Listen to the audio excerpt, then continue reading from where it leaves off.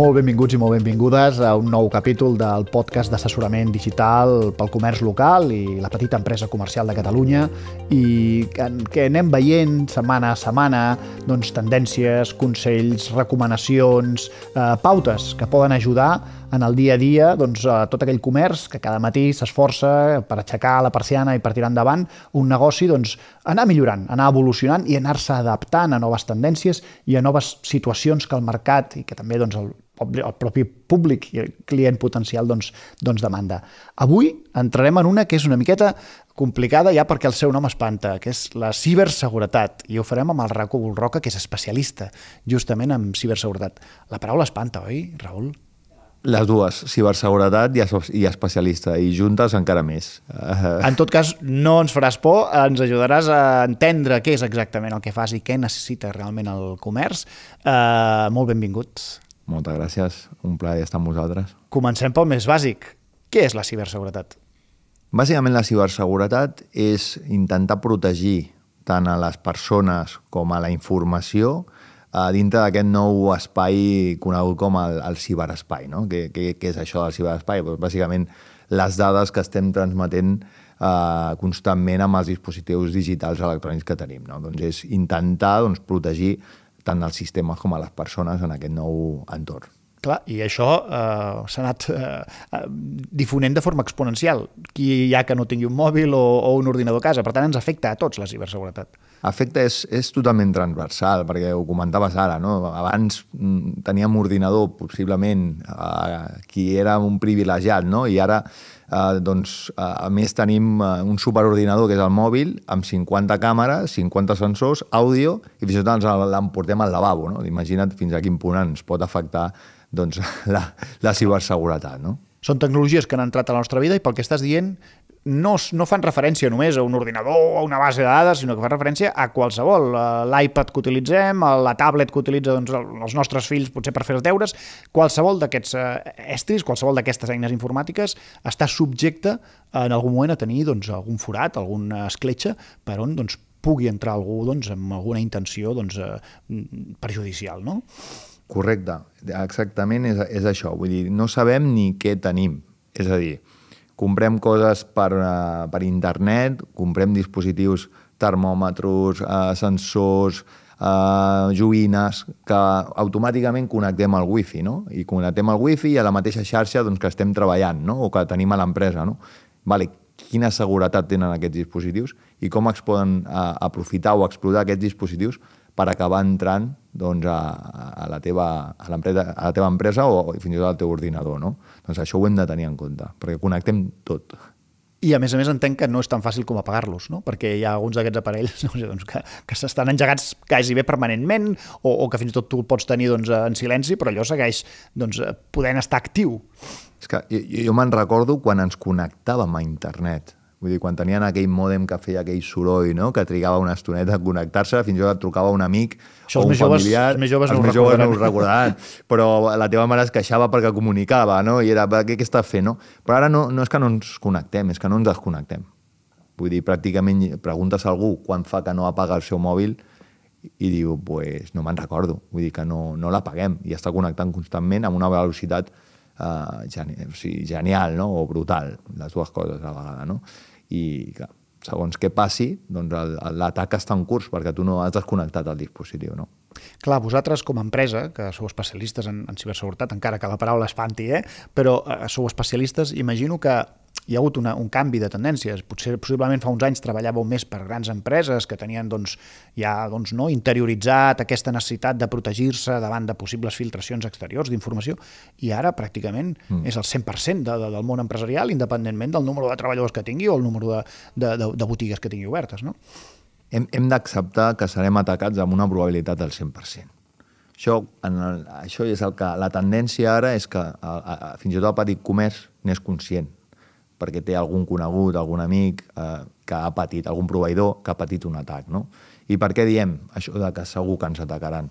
Perquè bàsicament tenim una adreça, eh, una adreça IP, una adreça d'internet, que com l'adreça del nostre comerç doncs, està exposada a internet. Els dolents què fan? Doncs cada dia comencen a analitzar cada una d'aquestes adreces. Què estan buscant? Portes obertes, finestres obertes. I a la que troben una, doncs entren. Llavors, a nivell informàtic, a nivell de capacitat de, de fer-ho, és molt fàcil. Vull dir, amb la potència dels ordinadors actuals, començar a analitzar i analitzar és trivial. Per tant, sí o sí, doncs, acabaran sent atacats. Si no estem protegits, doncs, eh, tindrem un problema traslladat al món, diguem, no virtual, és com no deixar-se una finestra oberta, no? És a dir, al final, si tens totes les finestres de casa tancades, és més difícil, no?, que hi hagi alguna oportunitat de que algú vulgui entrar-hi, no? Correcte. És, és això, és primer saber quantes finestres, quantes portes té a, al teu comerç. I a partir d'aquí, doncs, veiem com fer que aquestes finestres, aquestes portes siguin més segures. I, i escalar-ho bé i fer-ho d'una forma eh, proporcional. No, no cal... I a vegades la gent pensa no, que el tema de ciberseguretat ha de ser directament una inversió de calés eh, que no s'ho poden permetre, el petit comerç sobretot. No és ben bé així. Vull dir, s'ha de ser proporcional i oportú i congruent. És a dir, què necessitem pel nostre comerç perquè, sigui, eh, perquè tingui uns nivells de, de seguretat doncs, eh, essencials. Parlant de coses concretes, no? perquè parlem de ciberseguretat, d'atacs en general, en termes molt doncs, teòrics, però a nivell pràctic. És a dir, eh, quan estem parlant de ciberseguretat, de què estem parlant? Estem parlant d'aquell missatge que t'arriba dient escolta, el teu banc et demana que cliquis aquí per entrar en un enllaç i restablir la teva contrasenya. Estem parlant d'això, entre altres coses, també? Això seria un vector d'atac. És a dir, eh, ens poden comprometre o poden entrar als nostres sistemes de moltes formes. Però bàsicament sempre perquè siguis atacat ha d'haver una vulnerabilitat. La vulnerabilitat què és? Pot ser una persona, pot ser un programa. En aquest cas, si t'envien un missatge intentant enganyar-te, si tu ets vulnerable, és a dir, si no tens consciència d'això, si tu no tens una formació de dir, ostres, uh, aquest correu l'hora malament, ets vulnerable i per tant fas un clic i amb aquest clic executes un virus, per entendre'ns, i aquest virus doncs, permet que entrin als teus sistemes. Vale? Això seria una vulnerabilitat personal. Utilitzen el que es diu enginyeria social, no? Que t'agafen despistat, per exemple, en aquell moment, o el que sigui, i, fas clic, sense pensar-hi. T'agafen despistat, o està molt sofisticat aquest uh, correu, tu no ho veus i, i fas clic, i, i ja està i aquí ja l'hem liat, no? I l'altre és vulnerabilitats dels sistemes i del mateix software. És a dir, nosaltres apliquem, o sigui, instal·lem una aplicació a, al mòbil, per exemple, al WhatsApp. Aquest WhatsApp té una vulnerabilitat al seu programari, al seu codi, i permet que si algú t'envia a un paquet determinat o fa una trucada determinada, doncs et puguin comprometre el mòbil o un sistema d'un RP que tens al núvol, on sigui, si aquest sistema és vulnerable, doncs totes les teves dades han pogut ser accedides per, pels dolents. No? Per tant, la vulnerabilitat seria per la part més de sistemes i per la part de persones. Per tant, el que estàs ara parlant és de WhatsApp, d'email, coses absolutament populars. És a dir, que el 100% de la població, jo diria, el té. És a dir, no, és una, no, és, no estem parlant d'un programa molt específic que té doncs, alguna empresa en concret, sinó que és una cosa que tothom té. Quan accedeixen Eh, exactament a, a, a què poden accedir? pues, sempre, de, jo, jo sempre ho explico de la mateixa forma. És on tu pots accedir, els dolents també podrien. És a dir, en cas de que et comprometin, accediran a, a, amb tots els privilegis que tu tindries. I a vegades accedeixen a llocs que tu no accediries perquè saben fer servir el sistema amb més profunditat que tu.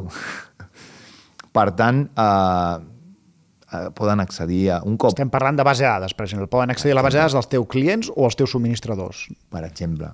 Amb totes les dades que hi hagi. Telèfons, e-mails, comptes corrents, fins i tot. Correcte. I poden accedir fins i tot a sistemes dels teus proveïdors i dels teus eh, clients, que és, són sistemes que potser tu no podries accedir.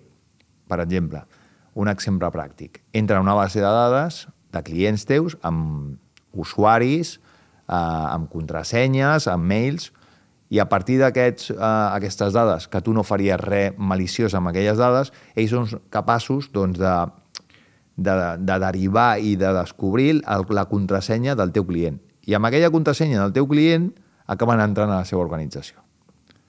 Per tant... Mm, busquen portes d'entrada, és a dir, no busquen entrar a casa teva, per entendre'n, sinó que des de casa teva puguin accedir a una altra, a una altra, una altra casa, per entendre, una altra empresa que sigui subministradora o clienta. Tal qual. El primer que fan és això. Normalment, quan entren a una empresa, el primer que fan és mirar tot bé, analitzar tot bé i si veuen que és d'un volum elevat, un volum gran, que poden tenir eh, doncs, eh, més vectors d'entrada a altres clients, el que es coneix com l'atac a la cadena de subministrament, poden estar dos, tres, sis mesos dintre l'organització sense fer res fins que no tenen la informació suficient com per atacar a, a tots els, les noves víctimes. Clar, això que dius és molt preocupant. És a dir, tu pots ser que estiguis tranquil pensant que estàs protegit i al millor ja fa un mes o dues setmanes que algú ha pogut accedir a la teva base de dades o als teus discs durs, per entendre'ns. És, és lo habitual. Nosaltres, quan fem una auditoria de, de, de ciberseguretat, o quan entrem eh, per fer una comprovació o el que sigui, nosaltres donem per fet ja que l'empresa està compromesa. I, I actuem de forma com que l'empresa estigui compromesa. Això com es tradueix? Doncs que no en cap cas surt que som una empresa de ciberseguretat, eh, no enviem res que no estigui xifrat, no donem referències de que estem fent una auditoria de ciberseguretat. Per què? Perquè si hi ha un dolent, el que pot fer és eh, premar el botó vermell i dir, ostres, ens han enxampat, doncs fico un botó vermell, enxifro tot i ja està, no? Com s'adonen molts cops les, les petites empreses, sobretot, i, i aquí sí que és un drama. Quan entren al correu, per exemple, imaginem una, una petita empresa, ¿vale? entren al correu, eh, en el correu que, de la persona dedicada a enviar factures agafen, estudien totes les, les factures de tots els proveïdors, amb tots els correus, amb la forma de que es dirigeix a cada client, a cada proveïdor, i és a dir, estudien el teu modus estudien. operandi habitual de, de, escolta, Enric, t'envio la factura, no? Total. I en aquell, i en aquell moment, què fan? Canvien el número de compte. Diuen, escolta, el que m'has de pagar, eh, Enric, el que m'has de, de pagar, ostres, se m'havia oblidat dir-te que hem canviat d'entitat bancària i el número de compte era, és aquest ja sé que em mataràs, però... Ostres, I ho fan financi... des de l'email de l'empresa, per tant, no hi ha manera de sospitar. Quan se n'adona el client? Quan diu, ostres, m'haurien d'haver pagat el dia 10, ja estem a 30 i no m'han pagat. O al mes següent, diu, escolta, què passa? I te n'adones que 100 clients teus, proveïdors, doncs li han, li, han, li han enviat la factura modificada i aquí tens un problema, perquè molts cops s'ha enviat uh, s'han enviat doncs, uh, productes, s'han enviat un munt de, de, de, de material o el que sigui, està enviat ja, però no es cobrarà mai, perquè la culpa de qui és? I a més a més, el que estàs dient em sembla molt interessant de, de, de una mica fer l'analogia amb la medicina, no? que la gent a vegades va al metge quan ja li fa mal alguna cosa en mm. lloc d'anar a, a prevenir. No?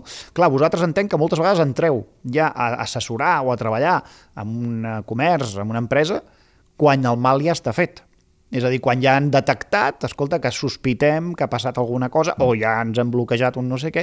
És a dir, la vostra feina encara és més difícil, perquè no la feu d'assessorament previ, sinó que la feu ja d'intentar reparar el mal fet. Nosaltres fem molt la part, preven, la part preventiva, la part proactiva, de, de mirar abans de res, no? de com estem, què tenim i com podem protegir el que tenim, però la part reactiva també nosaltres som molt, molt, molt especialistes en la part de resposta a incidents. És a dir, quan hi ha el foc, doncs anar i intentar apagar el foc i, i, i treure els dolents de, de, de la infraestructura tecnològica de, de la companyia. No? És complicat. I la tensió que es viu en aquells moments i el, el gabinet de crisi i les reunions de seguiment doncs, eh, són molt complicades perquè va al, al tancament del negoci directament.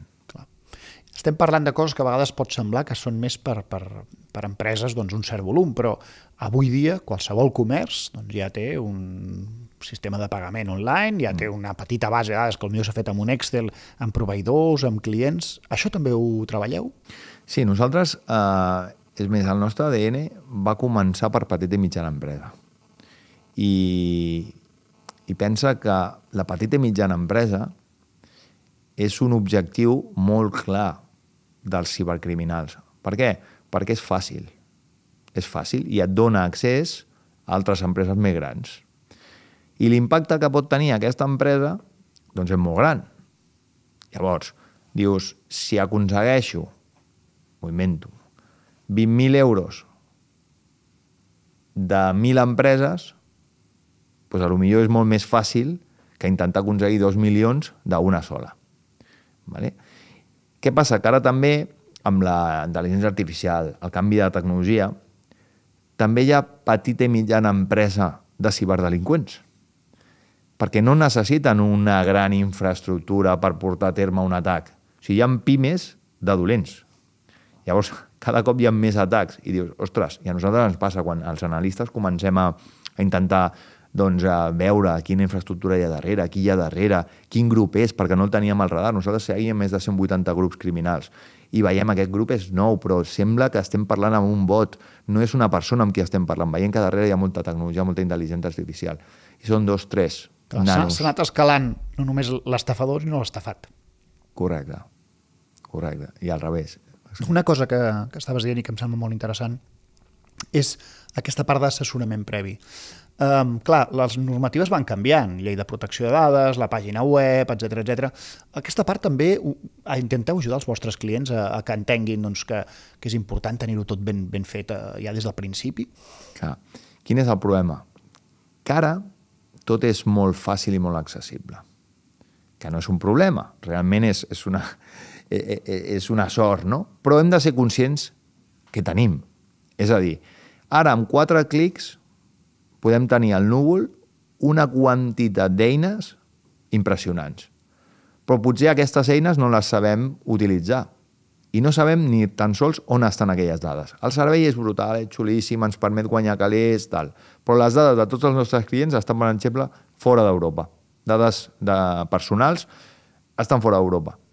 Però això no ho podem fer, perquè hi ha un, el Reglament General de Protecció de Dades que prohibeix que faci això.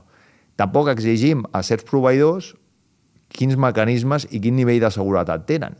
No ho preguntem. És un servei bo, econòmic i que ens va bé. I tirem. I tirem pel dret. Ostres, primer ens hem de preguntar on estan les dades, com estan guardades i quina normativa hem de complir. En cas d'atac, pot, pot suposar, pues, imagina que comencin a venir doncs, a denúncies de, de centenars de milers de clients i agències eh, de protecció de dades, doncs, molts cops doncs, representa el tancament directe de la, de la companyia. Has dit dos de les tendències que estan en aquests moments. Una és, la, evidentment, la intel·ligència artificial i tot el canvi que ha suposat en el món de la ciberseguretat, i l'altre és aquest que has dit, no?, d'aquestes noves eh, pimes, diguem, estafadores, no? És a dir, que ja no van a buscar el gran eh, grup empresarial i estafar-los molts diners, sinó que ja van a rascar fins i tot doncs, doncs, empreses i comerços doncs, d'un doncs, volum inferior, no? Um, quina tendència més? Què, què més creus que hem d'estar pendents? Què creus que, que aquest 2024 o 2025 diguéssim, aquests dos propers anys ens donaran, eh, ens capficaran oh, de, de, de problemes que poden sorgir en ciberseguretat? La, un dels atacs que està pujant més, o els dos atacs que estan pujant més, són l'atac de ransomware, que és l'atac de segrest de dades. Et xifren totes les teves dades de l'organització i et demanen que paguis en moneda virtual, Bitcoin, Ethereum, el que sigui, una quantitat X de calés per poder desxifrar les teves dades això cada vegada més va estar pujant més, està pujant més, i amb el tema geopolític ara encara més. I per els... entendre'ns, és, ells es queden tota la teva informació a la que necessites per operar habitualment i mm. fins que no pagues no et deixen accedir-hi. Sí. És això. Bàsicament és, imaginem vale, que a tots els nostres fitxers li, li fiquen una contrasenya a tots els fitxers. I a més et diuen... Estem parlant de tots els fitxers, vol dir tots no els... només subministradors o factures, sinó, per exemple, pagament de les nòmines dels treballadors. Tot, absolutament tot. T'agafen, et xifra, et demanen... O sigui, et, et necessitaries una clau per poder, per poder desxifrar els teus, les teves dades, te les estan segrestant. Te les estan segrestant. Diu, si les vols tornar a veure, m'has de pagar, no? Per això es diu ransomware, un secret de software de segrest. I a més et diuen, i si no em, i si no em pagues, perquè jo, potser imagina que l'empresa diu no, no, jo tinc còpia de seguretat de tot això i no les necessito. Et diuen, no et preocupis, si no em pagues, les publicaré. Les publicaré i com no les tenies ben protegides, les agències de protecció de dades et sancionaran i, a més, els teus proveïdors et denunciaran. Els teus clients et denunciaran i la teva reputació caurà. No? Això està pujant moltíssim. Ja tenen webs de publicació, data leak sites, que es diuen. Són webs, a la dark web o a, la, o a internet, doncs, que publiquen doncs, l'empresa A ha sigut atacada i tenim totes aquestes dades i les publicarem al dia tal si no paguen. Aquesta és una. I després els atacs de denegació de servei distribuïts. Això com funciona? Això bàsicament és, que ho comentàvem abans, no? ja no sabem ni què està connectat a internet. Tot està connectat a internet, tot està a Bluetooth, tot està per Wi-Fi, tot està, tot està connectat a internet. I tot és vulnerable. Per tant, els dolents el que fan és comprometen moltíssims ordinadors. El de la senyora Maria, no? que dius, per què, per què volen el meu ordinador? Perquè tenen, dintre de la seva xarxa d'ordinadors, tenen un altre equip. Què podem fer amb l'ordinador de la senyora Maria? Pues utilitzar-ho per atacar un altre ordinador. Si tots els ordinadors, imagina que tenim 4 o 5 o 10 milions d'ordinadors, amb un botó podem fer que ataquin el teu ordinador, que, que estem provocant una denegació de servei. Què vol dir?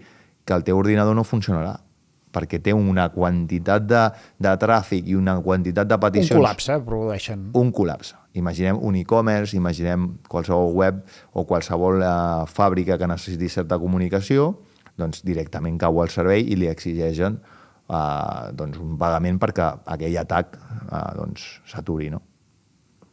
Com pot una empresa, i en aquest cas un comerç, avaluar és a dir, abans de començar, perquè pot, tot això li pot venir molt gran i dir, ostres, és que no sé ni per on començar. Per on ha de començar? Com pot avaluar si ara ja està en un nivell de seguretat més alt o més baix? Això és com anar al metge. Vull dir, necessites...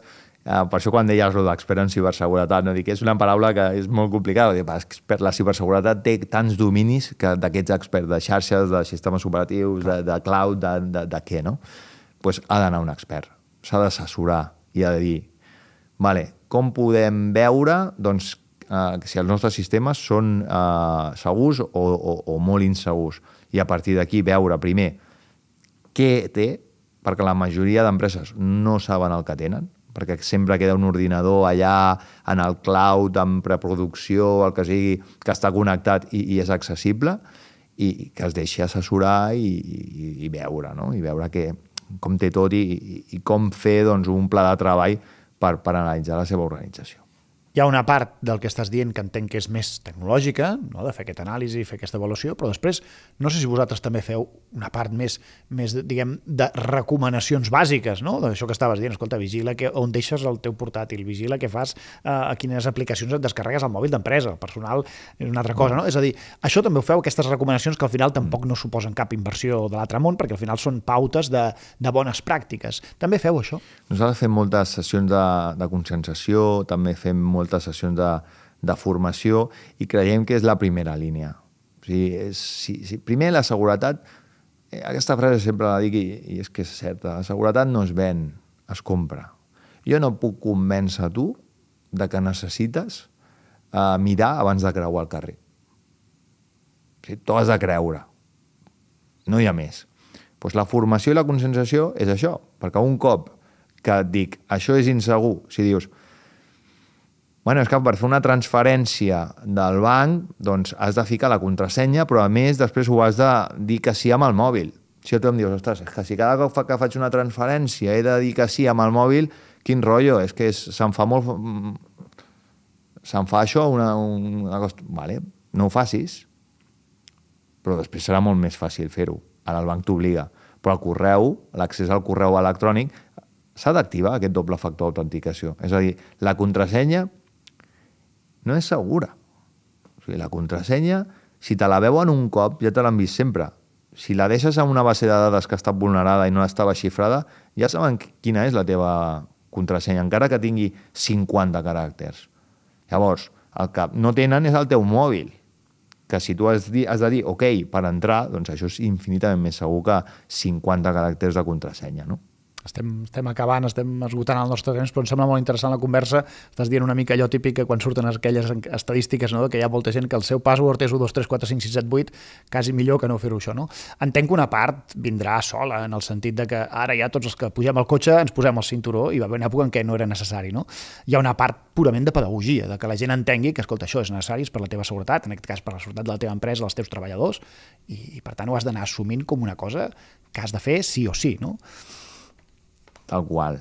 Uh, jo crec que la millor forma de protegir la teva empresa és transmetre als teus treballadors o als teus companys que la seguretat no és per l'empresa, la seguretat és a nivell personal. I si tu et vols ficar el, el, el cinturó sempre quan vas sol amb el cotxe també te'l ficaràs en el cotxe d'empresa.